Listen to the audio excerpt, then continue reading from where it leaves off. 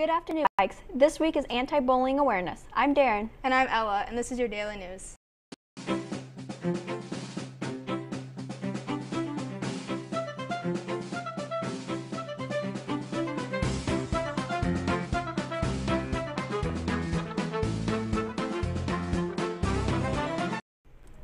Today we talked to Mr. Alexander to find out more about Anti-Bullying Awareness Week and we're here to talk about Anti-Bullying Week.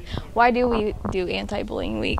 Well, I think that the state of Kansas, there's an anti-bullying law on the books, and the state of Kansas wanted to set aside a week for schools to really highlight you know, anti-bullying and that kind of thing. And um, so this week is anti-bullying week, even though that every week should be anti-bullying week. That's what we're striving for.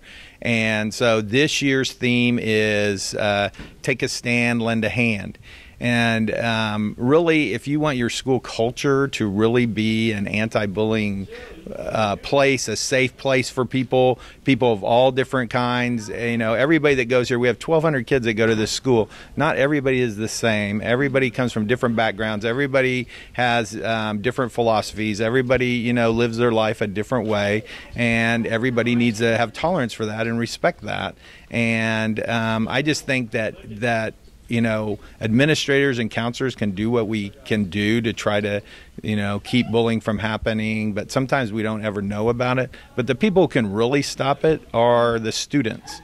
The students are the ones that, you know, like it says, take a stand. When you hear something going on, the person that's getting picked on or they're saying something about, lend them a hand. Tell people that you don't you don't agree with them, that you don't you know, accept that kind of um, talk or whatever if they're calling names or if they're saying something about something or they're putting something, you know, like you guys are always on social media, you know, and someone will, you know, like people have an argument and people pick sides and they'll tear people apart. And then other people need to step up and say, that's not cool. That's not what it's about. You know, you need to have, be tolerant of everybody's opinions.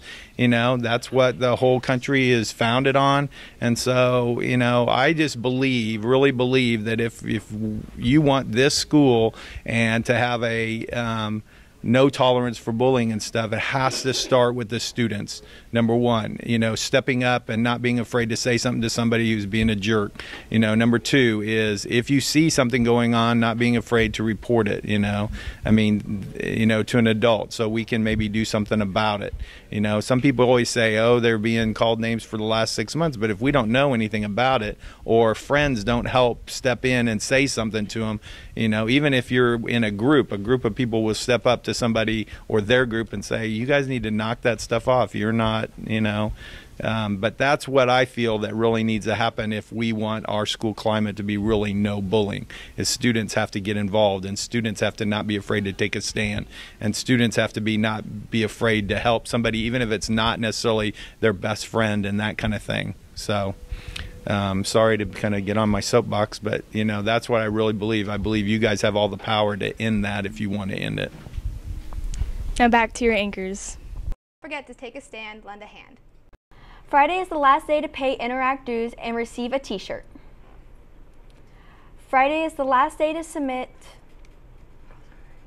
Friday is the last day to submit your name and logo design to Mr. Tinsley for the new school store. Fellowship of Christian Athletes is selling t-shirts through Friday. Order forms are on Schoology. Turn in the money and order forms to Courtney Woolitz or Miss Esser in E10. The Viking Book Club is seeing Jay Asher at the Public Library, October 12th at 9 a.m. If you would like to go, permission slips are in the library.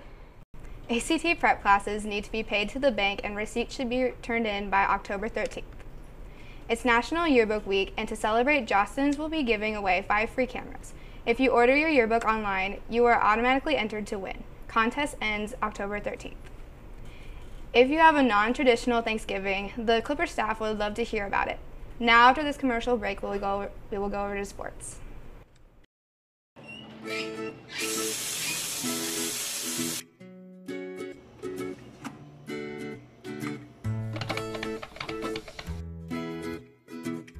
Just get a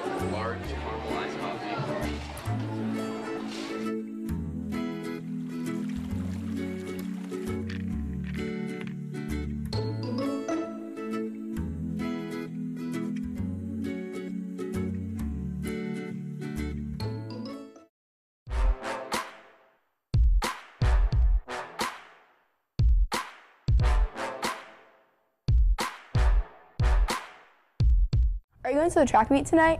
No, it's tomorrow. Since when? Wolf posted something on Schoology about it being rescheduled. Why is everybody wearing blue?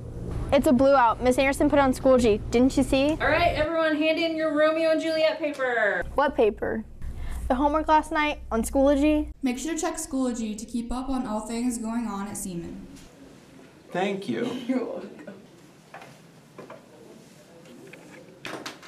How'd you know to turn that in? I checked Schoology.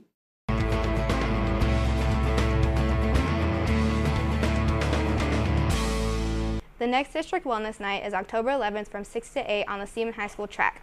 The girls' tennis team is in action today. We will have the results tomorrow. Now over to Darren with the weather.